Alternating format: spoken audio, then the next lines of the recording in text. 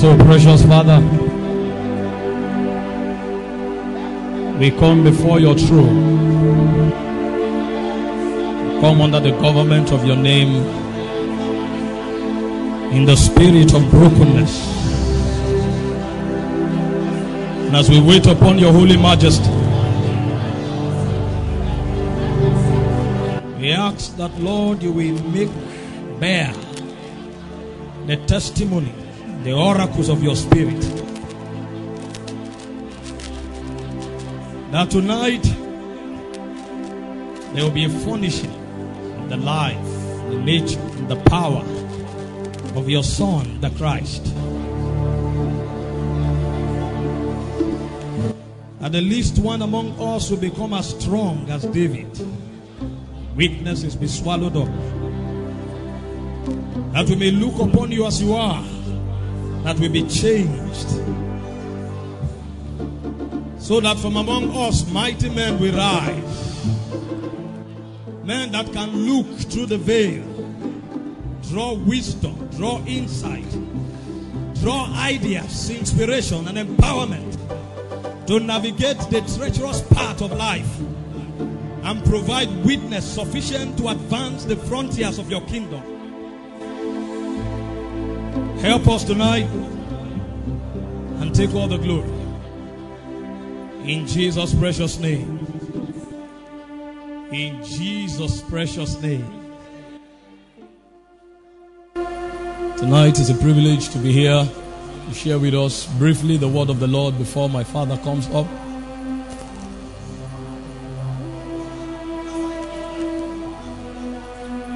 First time I had the privilege of standing in for him,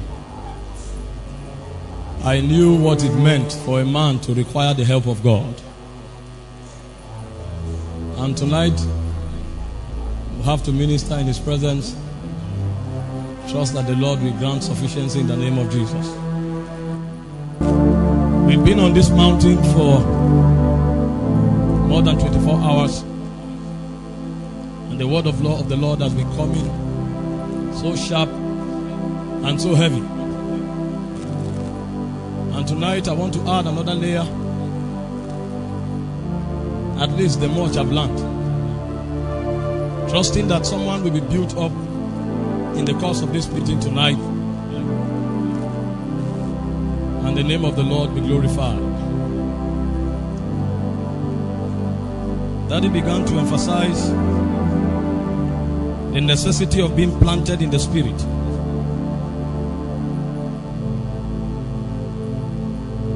The significance of being planted in the courts of God and in the house of God.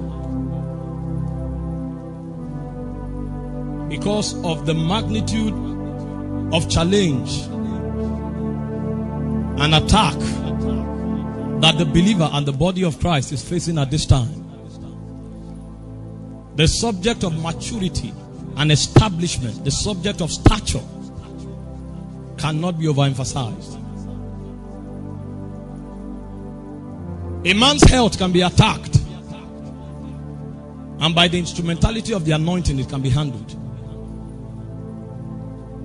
By the instrumentality of faith, it can be handled. A sinner can be won over by a good gospel in, in a field.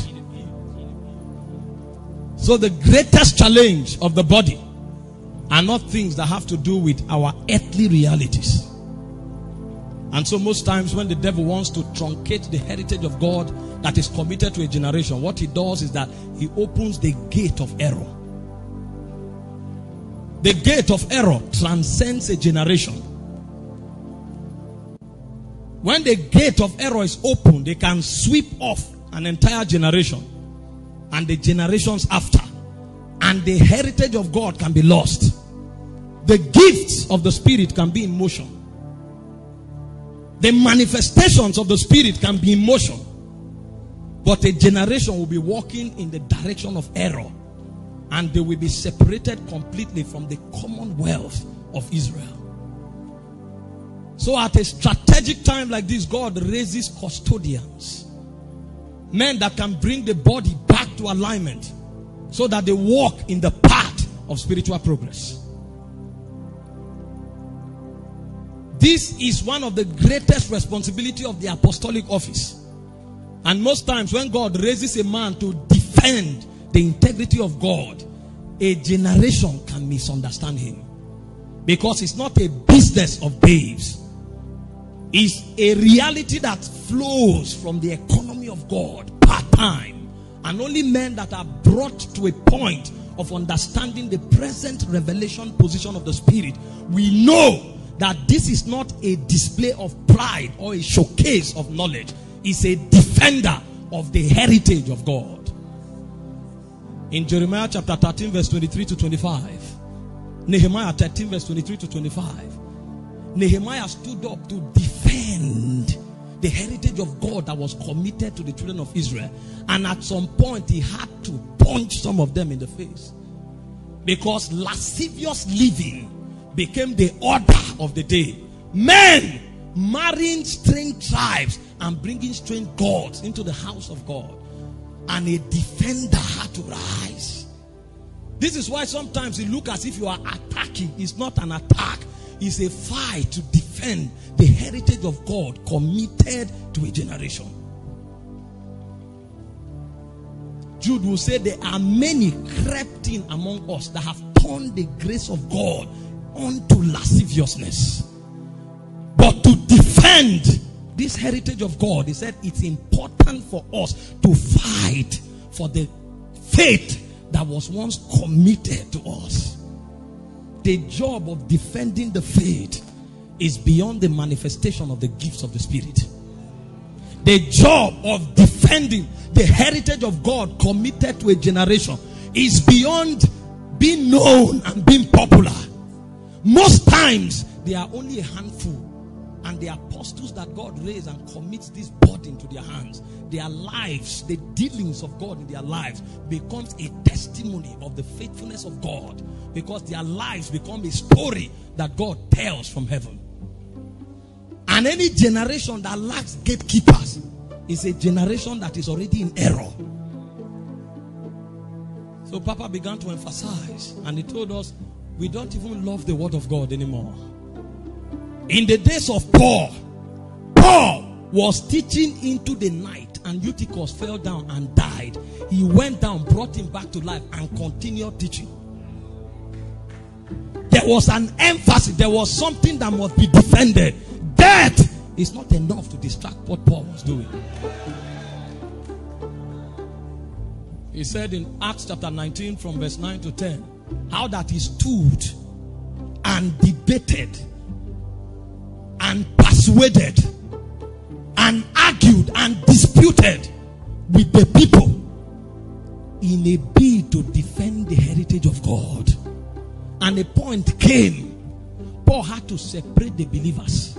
You know, there's a place where you talk unity, there's another place where you have to separate some people so that the heritage of God can be preserved. It may look as if you are creating disunity, you are fighting to defend the faith.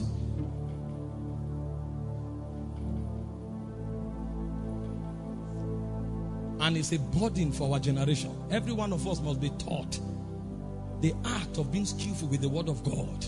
Not just to teach it, but to internalize it until it becomes our life. So Papa would say it's not being about being revelatory, but being exemplary. In Acts chapter 1, verse 2, he said, Of all that Jesus both began to do and to teach. A generation must be equipped to stand and to defend the integrity of God. But this is lacking in our time.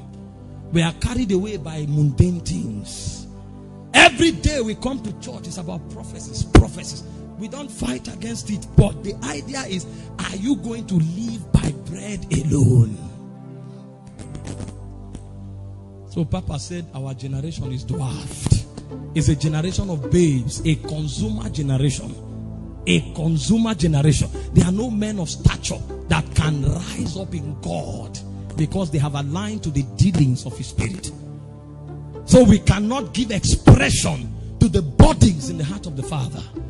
David will say, The sacrifices of a broken heart and of a contrite spirit. The Lord cannot despise because there's a soul structure, there is a soul disposition a man must attain before he can stand before this immortal deity.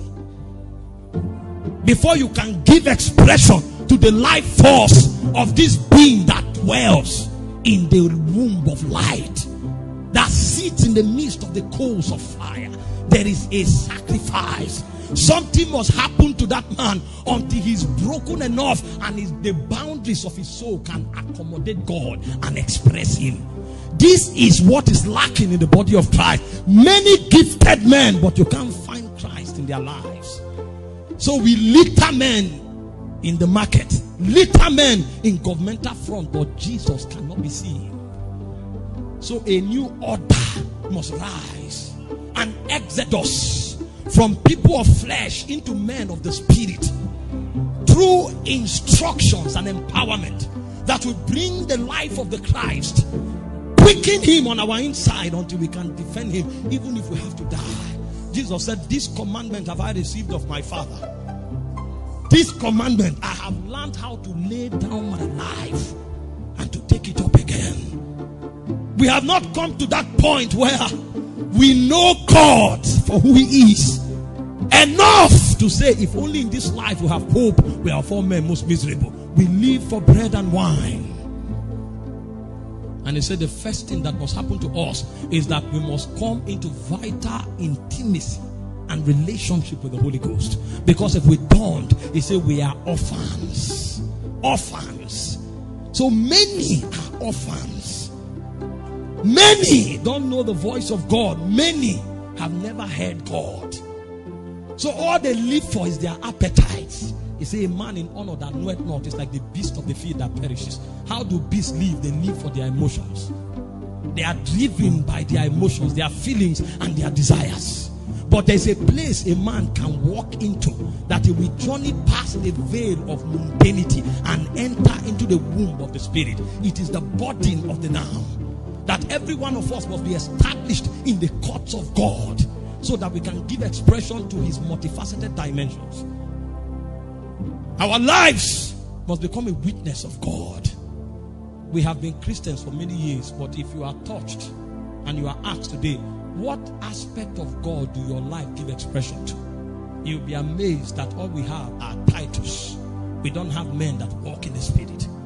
But from the days of the patriarch, they knew that life is not life except you have fraternized with the spirit enough to give expression to his reality.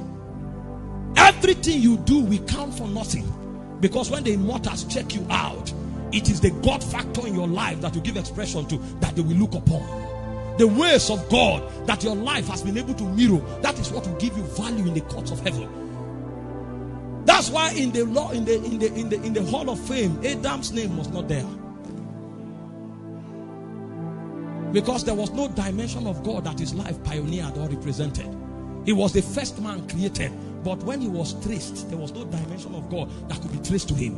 And when the Bible came to Abel, he said Abel gave a more excellent sacrifice than Cain. So the life of Abel in the spirit realm is sacrifice and the patterns that those elders put in motion. When Jesus showed up, he followed those patterns because they are called patriarchs. The reason is because they caught a dimension of God and they gave expression to it. Abel's life was a life of sacrifice, and it was through Abel's life that we realized that it is possible for blood to have utterance in the courts of heaven. So after Jesus perfected and the, the claims of divine justice. The reason the blood of Jesus was to be carried to the Holy of Holies was because Abel had pioneered that pattern that the blood can be a testament in heaven. So he's a patriarch.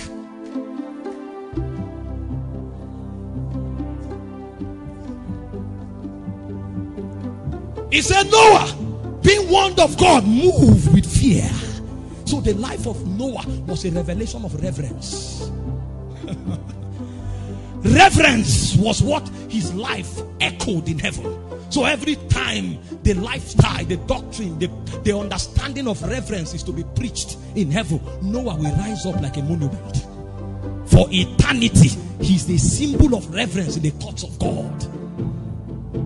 Abraham, the Bible said was rich in cattle, in gold, and in silver. The Lord had blessed him in all things. But when the records of Abraham were to be read, everything he had was not mentioned. Because all of those things are mundane. They have value in time. But in the realm of kings, when the chronicles are read, the things you have in time don't count.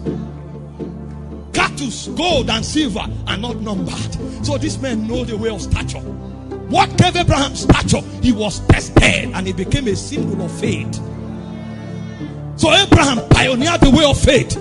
And God tested him many times until even the Isaac God gave him, he was willing to give him up. So the Bible said, Abraham, on the mountain of God, the Lord shall be seen. So it was Abraham that encapsulated a dimension of God called the El Shaddai. And the El Shaddai is not the provider. The El Shaddai is upon the mountain of God, he can be seen. And much more than that, the El Shaddai means the mountain one. So Abraham learned how to mount God. So every time Abraham wants to bring witness on earth, he knows how to mount God. The mountain one. That's what Abraham found in the spirit. And he entered there by the pathway of sacrifice and faith. But our Christianity today is judged by the number of black jeeps we have with tinted glasses. Yeah. Ah. Ah. Ah. Yeah. Ah. Ah. Ah.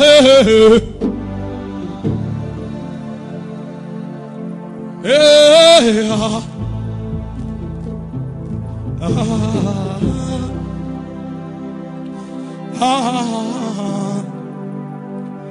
God bore him testimony. He said, I know Abraham, my servant, for he will teach his children to walk in my ways. His children and his household. That was a pattern he mirrored. Many years later, even the sons of Keturah were priests. More than 800 years later, when Moses caught a body to pursue after God, it was Jethro that taught him the way of God. The name Jethro is not his real name, that's his title. His name is Reuel. That means the friend of God. So the blueprint of Abraham remained in that generation for many hundred years. And it was the, he was the one that taught Moses how to walk with God. They were men that learned how to detach themselves from this world so that their lives can become witnesses of the divine. Every time you touch them, you touch the dimension of God because they know Him and they've seen Him as He is. So John showed up. He said, That which was from the beginning, which our eyes have seen, which we have looked upon and our hands have handled of the word of life. That is what we have come to commit to you. What is it that was from the beginning? It is the fellowship of the Godhead, the koinonia of the divine. Because before creation began, the Father looked upon the Logos, and there was a communication between the Father and the Logos. The Logos looked upon the Spirit, there was a communication. That intensity of life, that vibration that flowed between the Godhead was what created orchestrated and motivated the creation of man. So when John said, I am bringing you what was from the beginning, he was bringing you back into the spirit. Because in this world you can't live. You can only live when you reconnect to that koinonia that was before time began. That's when life begins. And it's the burden of the apostolic, the burden of the Father for every generation that his children will learn how to walk in the spirit. To walk in the spirit. Today we are religious men. At best, we are given to programs, activities, and titles. But there are few that walk in the spirit. It's a burden of the now. That which was from the beginning. How much of that fellowship do you have? Paul said, The grace of our Lord Jesus Christ, the love of God, and the communion of the Spirit be with you. This is why life begins from the Spirit.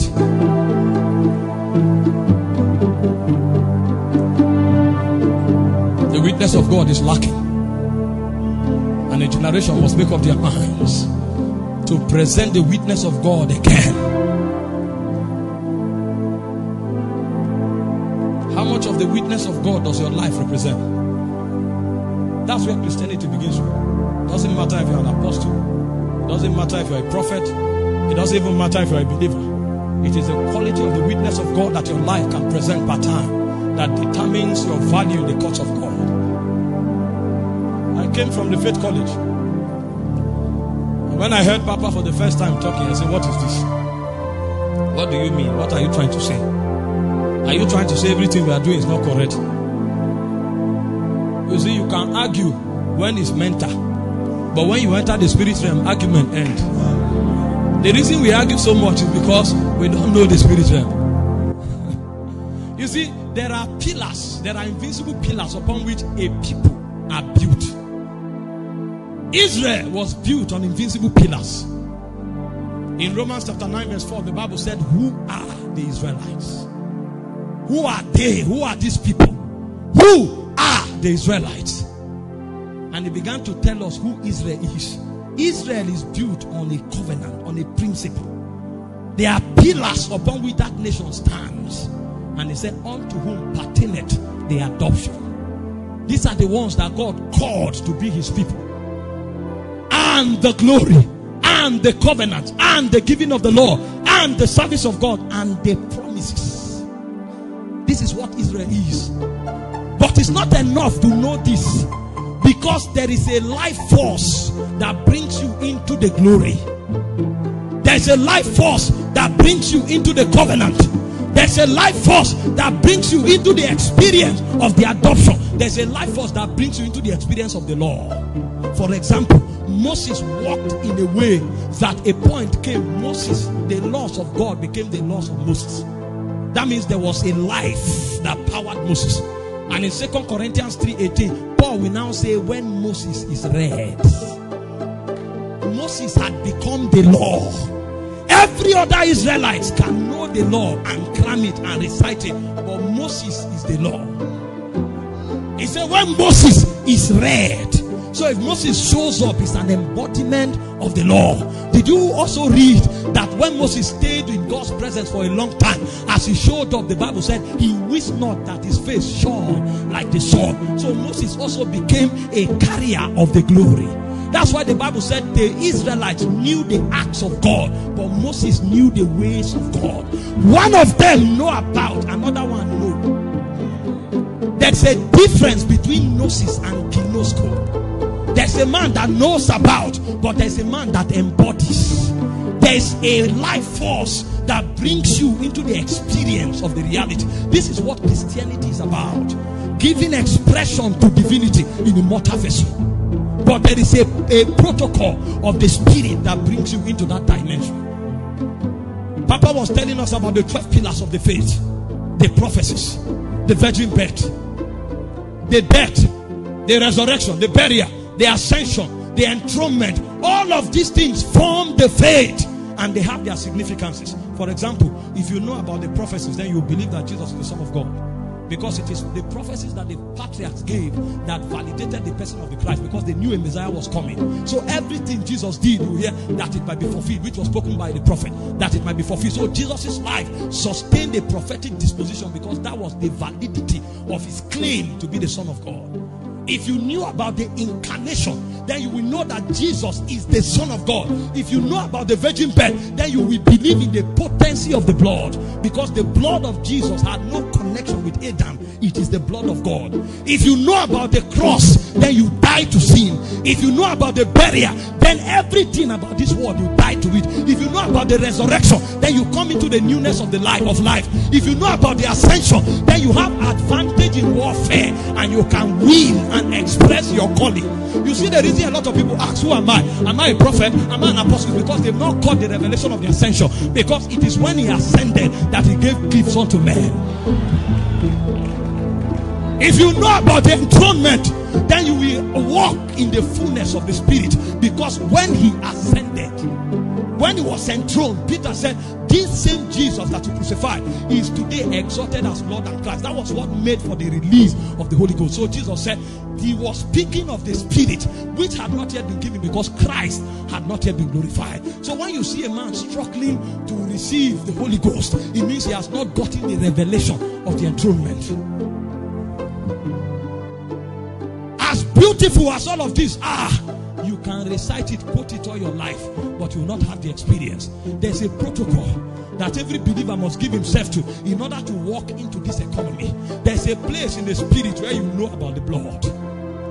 There's a place in the spirit where you know about the power of the cross. This is why you can quote the scripture yet live in sin. There's a protocol.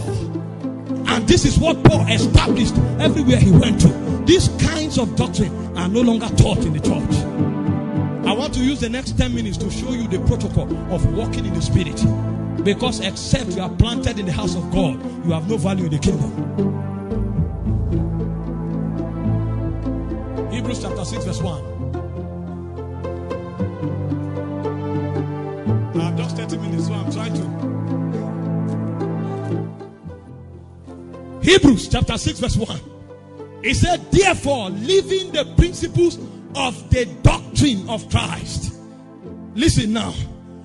The major things the fivefold do, aside the other things we do, is to establish Christ in your life. He said in Ephesians chapter 4, verse 11, to some he gave to be apostles, evangelists, prophets, evangelists, pastors, and teachers for the perfecting of the saints. The word perfecting is the word equipping with light. And the idea, the goal, is that we come into the fullness of the measure of the stature of Christ. So Paul was showing us the protocol for entering into the fullness of the measure of Christ. That's what he calls the principles of Christ. The word principle is from the word principal. This is the most cardinal for everybody who wants to walk in the spirit. And the first thing Paul outlined, he said, Remember, if you if you go down to verse 3, Paul will say, if God permit, we will lay it again. The reason he's saying I will not lay this again is because I have laid it before. So everywhere I go to, the first thing I do is to lay this foundation. Apostle will tell us that the hardest thing to do is to is to pastor carnal people. You want to make your job easy, teach them how to walk in the spirit. So everywhere Paul goes, his first priority is to teach the people how to walk in the spirit. And in verse 1, the first thing Paul said was repentance from dead works. Dead works are not just the works of the flesh. They are beyond the list in Galatians 5:19 to 22. Everything you do that is motivated, inspired, and powered by the flesh is dead works, including preaching. This is why we do a lot of activities, but we have no territorial power. Because the devil thrives on the strength of your flesh.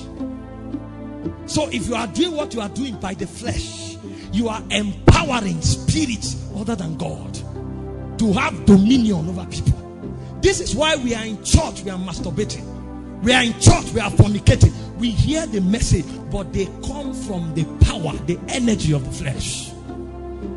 Everything motivated by the flesh is dead works. So Paul said the first thing to do to walk in the spirit is repentance from dead works. The word repentance in this context is beyond confessing sins.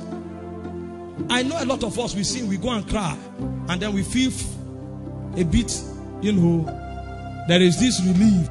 That's biochemical process. That's why if your relative dies, when you cry for two days, you become okay. The word repentance means turn around. What it means is migration from flesh to spirit. This is why repentance is only possible when you receive an encounter with the word. It's a conviction that does not only stop you from what you are doing, but empower you to do the other, what ought to be done. Sometimes it's not even from dead works. Sometimes it's from where you are currently operating in God to a higher platform. John said, I was in the Isle of Patmos for the testimony of the word and for the kingdom. And I heard a voice behind me as of a trumpet. And as I turned, as I turned, when John turned, he entered into the economy of Alpha Omega. He entered into a circumference of life that flesh cannot compromise. Walking in the spirit starts from an ambience where repentance is possible. This is why the first on the corridor of recovery is intercession. There are things you can never achieve unless you come within the perimeter of the life of God. That's where that word comes to you. I was in the spirit on the Lord's day. I heard the voice. That's the only time you can turn around. When you have an encounter with that voice. The reason you will struggle again and again is that you are trying to achieve something with tools that are already corrupt. Your flesh is already compromised. So you are using your will, you are using your abilities, you are using your mind that is already compromised. Every time we want to begin to walk in the spirit or teach a generation to walk in the spirit, we bring them the way of intercession. You will stay there until you hear for yourself and you turn around. There are many that have never turned around. You have never turned around. You have done activities. You have been excited. You have fallen in church. You have cried. But you've never turned around because you've not stayed there enough. This is where life in the spirit begins. And that's why every time you want to create that atmosphere that warrants a turnaround, flesh begins to fight. You lock yourself in your room, you are praying. The next thing you go and open your pot. You come and open the window. What you are doing is that flesh wants to be fed. But what men that turn around do is that they stay there. They stay there. Then the economy of migration begins. Because he said, They that wait upon the Lord. Isaiah 40, verse 31. They mount up with wings like the eagles. The devil is roaming, roaming like a roaring lion, looking for whom he will devour. So the devil is characteristic of a lion that devours the things of God. And the only way to kill a lion is to starve him. You can't fight a lion, you starve him. So, what we do in the presence is that we starve flesh until the devil loses power. And when you begin to starve the flesh, starve the flesh, starve the flesh, then the second protocol is activated. Paul calls it faith towards God. You know what that is? the Bible says faith cometh by hearing, and hearing by the word of God. And the word of God in Matthew 13 is likened to a seed. The word seed used in that scripture is the word sperma. That's what you call spermatozoan in biological science. That means as you turn around, then that word inseminates your spirit. That word is planted in your spirit, and then it begins to germinate something. And that thing that is formed in you shall be called the Son of the Highest. When that word is planted, what happens is that a dimension of God is activated on your inside. That dimension, that anointing, that empowerment begins to draw you. That's what he calls faith toward God. Is the insemination of your spirit man by a word that comes particularly to you and begins to grow on your inside. That's why we live from inside out, not outside in. Most times we come to church, they worship, they dancing, we stage it in a beautiful way so that we can stir our emotion. But spiritual men don't get excitement from outside.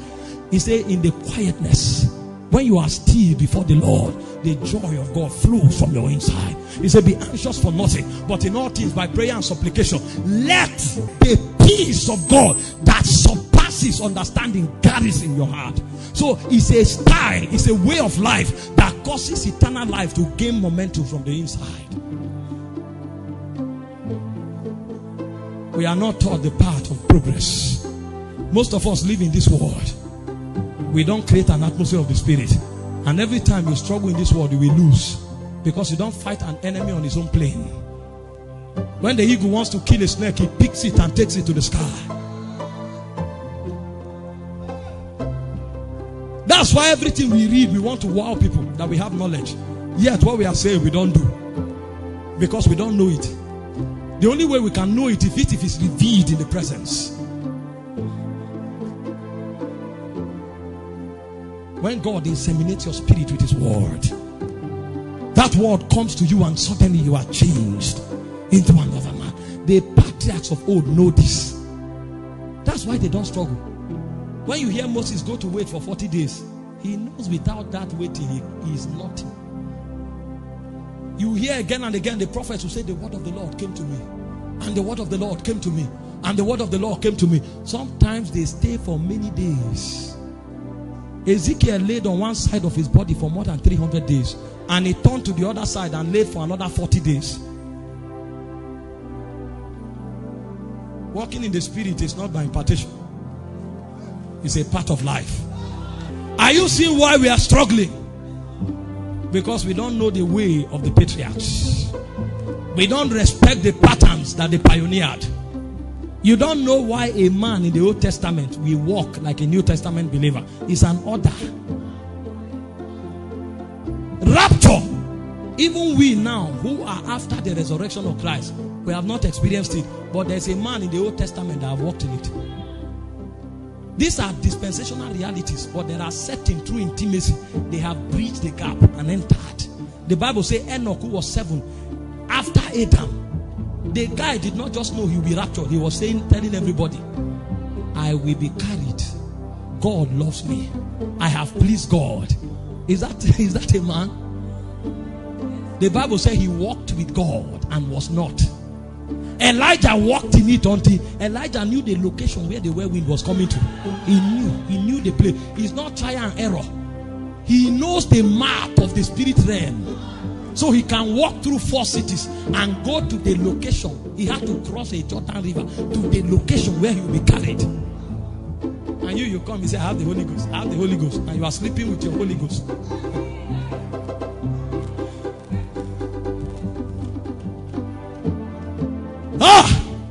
Who has bewitched us? We live like carnal men and we want to walk in the spirit. He said, The carnal man receiveth not the things of the Spirit of God, neither can he know it. You can't know it when you are sense ruled. He said, They are spiritually discerned.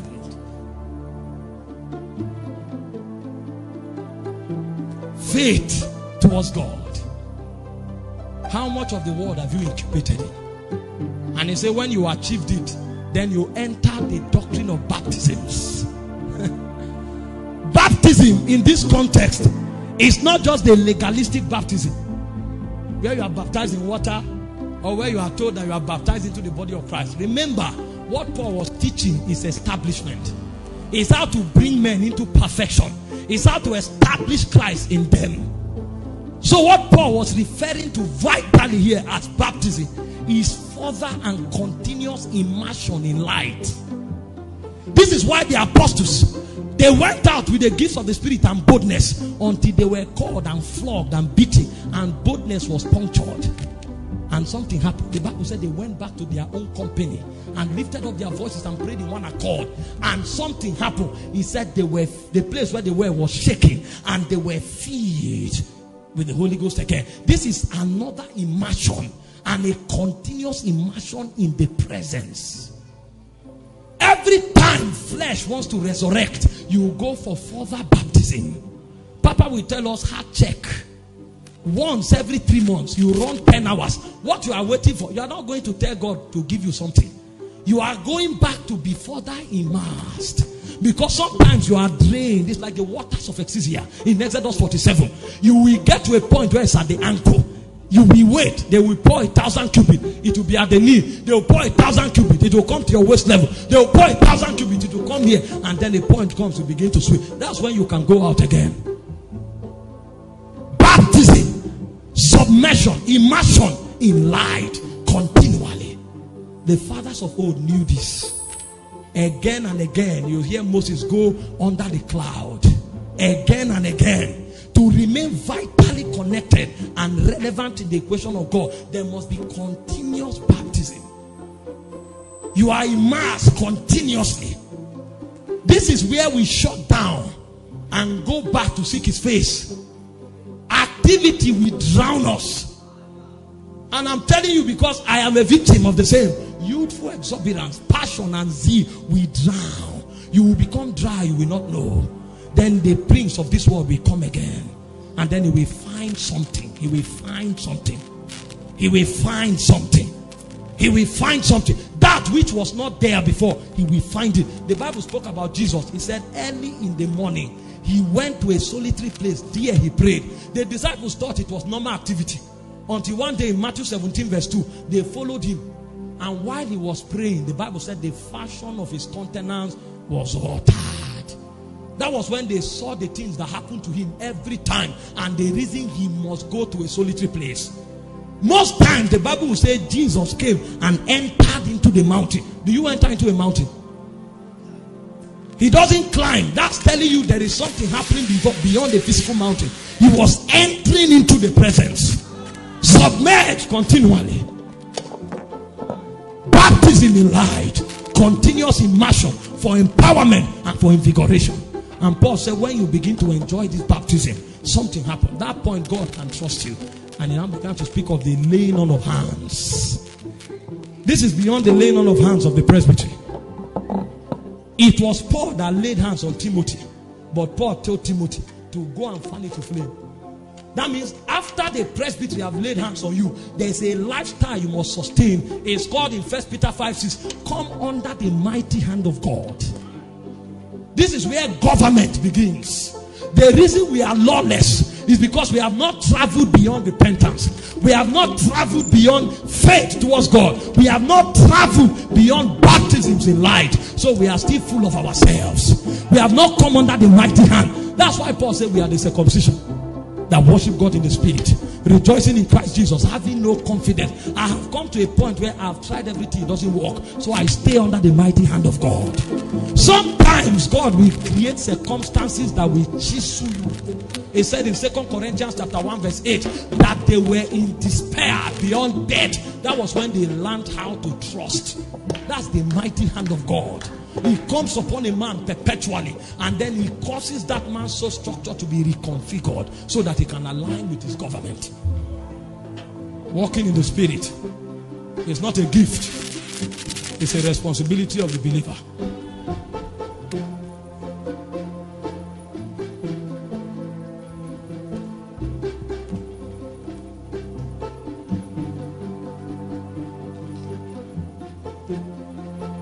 How much of the government of God have you allowed over your life? And then we wake up all of a sudden, we think things will begin to happen. This is not a gift issue. This is how men gain stature and rank in the spirit. Every man of stature, check his life. There are badges. One of them is death. There are scars, trials that they went through because God will not show mercy. He will keep his government on them until they pass that class. You can repeat one class for a lifetime. But what God wants to achieve is to give you ranking in eternity. Because when we get to eternity, it's not the finished works of Christ that we, re- we translate to reward, it's our own works in the spirit. So God will not remove his hand, He will keep it there until you accept government. The government and the governance of the spirit. He will come upon you day and night. Some of you, for many seasons, God will tell you, wake up in the night. If you allow that season pass, He will wait for your cycle again after three years. And when He comes back, He will still tell you, wake up at night to pray. You can't move forward until you pass that class. It's called the laying on of hands. Coming under the mighty hand of God. So that in due time he will exhort you. That exhortation is what Paul called resurrection from the dead. It's a migration from the land of the living to the land of the immortals. It's coming alive from the habitation of cruelty and walking in the spirit like one of the ancients. This is where the men of old walked in. A point came. Paul said, I don't know whether I'm in the flesh or in the spirit, but I knew that I was carried to the third heavens. I have left mundane world. I am no longer pegged to this world. I have stayed under the mighty hand of God until I know what is called ascension. I talk from heaven. The witnesses I bring to you is not necessarily a function of what I read. That's why a point came. He said, I am a man trustworthy. So concerning virgins, I have no instruction from the Lord, but I have seen the culture and the lifestyle of heaven. So I can tell you how virgins should live. I can tell you how men should live. I have been there. I have been there. The man knows experientially what resurrection from the dead is. As we are on earth, there are men that go to heaven. Because Papa that was telling us that you can train your gift and you can pick signals in the spirit. It doesn't mean you are an elder. You know what elders do? They go to heaven so they hear the counsel in the council of heaven. So many things happening. They can tell you the tributary that carries the blessings of God. Abraham sat at his gate. And you need to know that the gate is the office of the watcher. He sat there and he saw three men by the gates of Mamre. In Genesis chapter 3, verse 18, the gate of Mamre is where his altar was erected. So when those men landed, he knew that these ones are not mortals. And after God dealt with his problems and God was going, they began legislation. Abraham never gave a word of knowledge, but God himself called him a prophet. I know how these things work. And Abraham was bargaining the fate of a nation. That man is bigger than a nation because he understands business of stature. He understands the game of rank in the spirit. While others are pursuing things, Abraham pursues inheritance. That's why for the sons of Keturah, he gave gifts. But for Isaac, he gave an inheritance. So when Abraham pursues God and is journeying from the land, looking for a city with foundation, whose maker is God, he is pursuing something in the spirit. And for that, even after trusting God for many years 25 years for Isaac to be born, and many years later, God will say, Bring Isaac, he will take Isaac. Rank is a function of sacrifice. Our generations have, have not traveled far. We live, we live doing business in the flesh, pursuing things that even the unbelievers don't need to pray for. All our testimonies are breakthroughs. They are job opportunities. They are careers. How many of these things does Dangote's children pray for? It shows you how mundane we are. But there are men that pursue God for rank. They pursue God for stature. The Bible spoke of David. David hid himself in God perpetually. A point came, God wanted to take everything. Said, Take not thy Holy Ghost from within me. How did he know that a believer can have the Holy Ghost in the Old Testament? He was fighting for stature. So when David came to the battlefield, Goliath was six feet tall. You think Goliath is a giant? Goliath is a dwarf before David. The Bible said the righteous shall be as tall as the cedars of Lebanon. The cedars of Lebanon is 120 feet tall. So Goliath was a dwarf before David. And the reason the cedars can grow that tall is because their roots go as far as 300 feet. He has stayed under government. So he knows what it means to be ascended. And when you do that, God says He brings you into the eternal judgments of God. The eternal judgments of God is not necessarily the white throne judgment, it is a place of accuracy. He said, When the spirit of the fear of the Lord shall come upon him, he shall be made to be of a quick understanding. He shall not judge after the sight of his eyes or the hearing of his ears. This man have come to a point where he can mingle with the immortals to a degree that he knows the mind of the Father.